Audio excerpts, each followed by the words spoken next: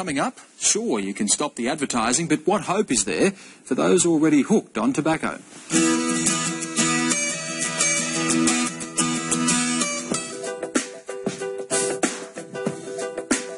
This is a tale of two sisters, twins, with identical looks, identical lives, and one identical bad habit. Now 32, Lucinda and Victoria Rhodes have been puffing their way through a pack a day for the last 15 years.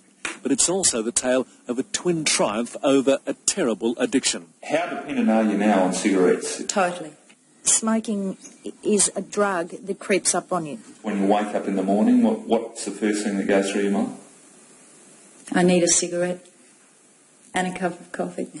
I smoke with a glass of wine, with a cup of coffee. I, um, when I'm sitting around relaxing, I have a cup of couple of um, couple of cigarettes, that sort of thing. You know.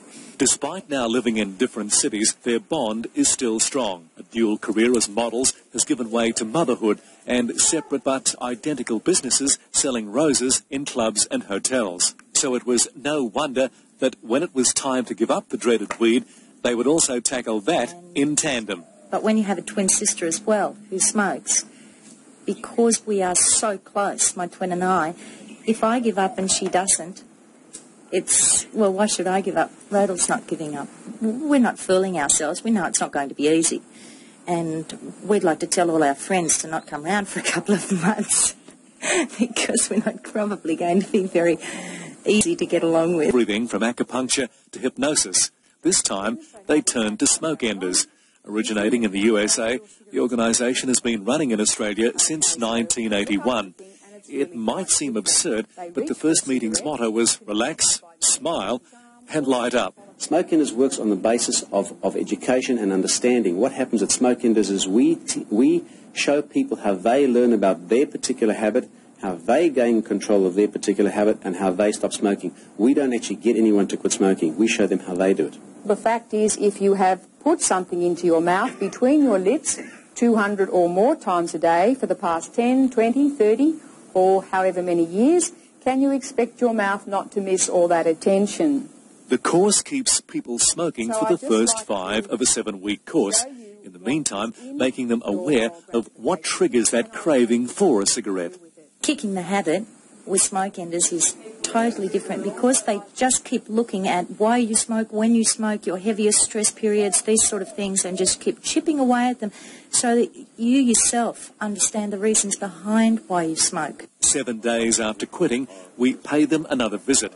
Cigarettes were gone from the table and their lives. It's going very well, and I haven't had a cigarette for six days. How have you felt as far as your, your health goes? Is it exactly the same? No, I feel better when I wake up. I feel maybe I've got a bit more energy. Did you feel like a burden was taken off your shoulders? Definitely, yep. Yeah, it's a freedom. For people that smoke, they'll know that to go to a party or to go anywhere, they have to have their cigarettes with them. So when you're finally free of that feeling, it's just, it's just great. Smokenders also suggest participants reward themselves in some small way for their achievement. But these girls don't do anything by halves. Victoria was last seen browsing for a holiday house, and Lucinda uh, I've got my, oh, uh, my bank bought me a car.